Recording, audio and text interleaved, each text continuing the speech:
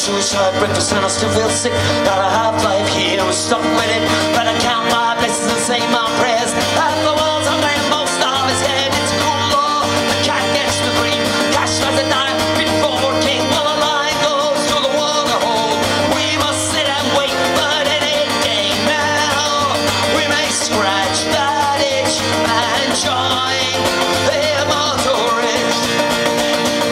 Driving Jesus to purge sins, roll up the gates of heaven and still gain.